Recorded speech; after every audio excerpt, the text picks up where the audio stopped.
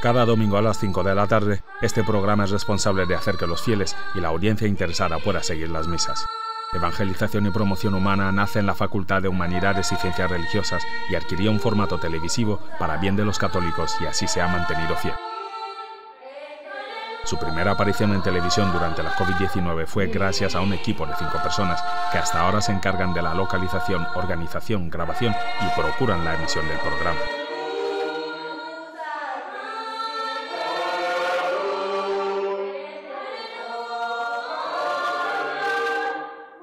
El programa llegó ayer a sus 200 capítulos mientras se grababa en la Capilla Virgen del Rosario de Anbasi, una misa que lograba la aparición 200 del programa en televisión para bien de los fieles católicos.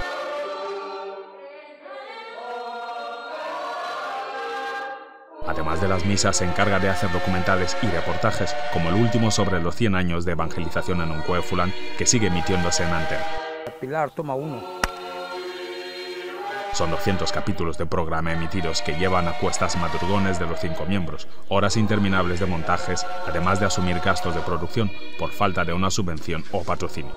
A pesar de eso, con la alegría del logro basado en la fidelidad con la audiencia, el equipo ha confirmado que se mantiene con el compromiso de seguir llevando el mensaje de Dios a la casa de los fieles y audiencia cristiana.